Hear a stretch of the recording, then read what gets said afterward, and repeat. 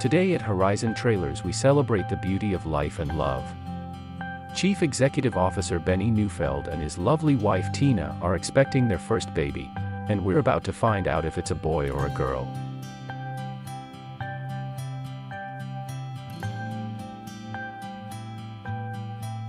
So we're here at Horizon. I'm rooting for a son. Oh, it's a first child.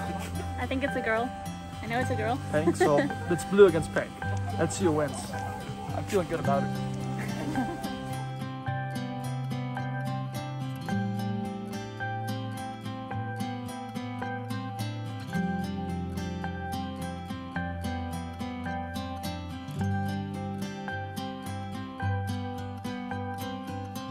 Here at Horizon, we believe that every detail matters, and we believe that you matter.